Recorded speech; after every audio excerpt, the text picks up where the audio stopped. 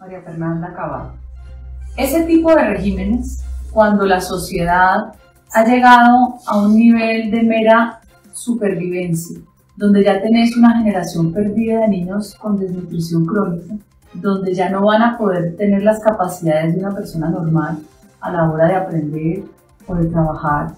Es una sociedad que se rindió y las sociedades se rinden primero por el miedo y segundo por evidenciar la capacidad de brutalidad del régimen.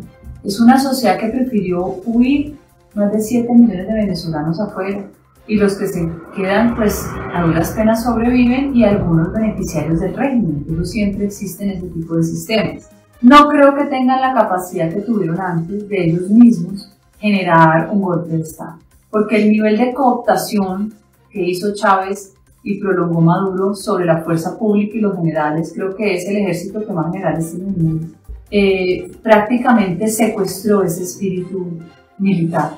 El patriota ya no existe, existe eh, la mentalidad mafiosa, que la riqueza sin límites con un país deshecho.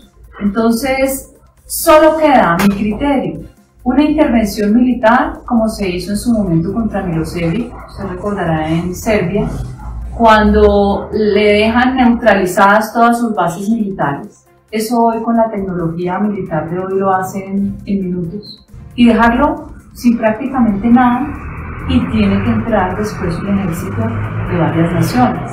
El problema es que como América Latina termina siendo terriblemente cobarde, primero influenciada por el Foro de Sao Paulo, creado por estas mismas mentes del socialismo del siglo XXI, y después cuando el péndulo vuelve y gira y salen unos mandatarios del Foro de Sao Paulo, no encuentra uno una fuerza dentro de estos presidentes que acompañara, por ejemplo, una decisión de Trump en Estados Unidos. Y no se iba a meter un presidente de Estados Unidos solo cuando estaba pendiente de una reelección y su único aliado en ese momento hubiera sido Jair Bolsonaro, que no hubiera pensado dos veces. Estos prefirieron por la diplomacia.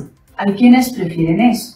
Yo creo que en un nivel de, em, ¿cuál sería la palabra ideal? En el nivel de destrucción en la que se encuentra Venezuela. Cerco o no cerco diplomático no les importa porque se convirtió en una cueva de piratas que viven del narcotráfico, de la explotación del arco minero, de la exportación de armas ilegales y de obligar a que sus ciudadanos migren, porque esa es otra forma de desestabilizar los países vecinos, generar una diáspora, una crisis humanitaria que sea el país vecino incapaz de soportar.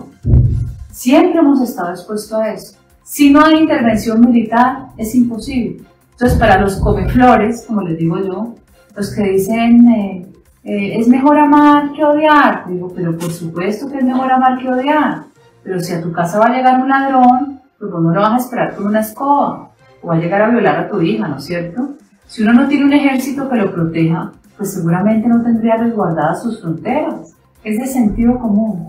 Desde el nivel al que ha llegado Maduro, necesita una respuesta similar y contundente de la comunidad internacional. No la ven. Van a seguir prolongando el sufrimiento del pueblo Venezuela.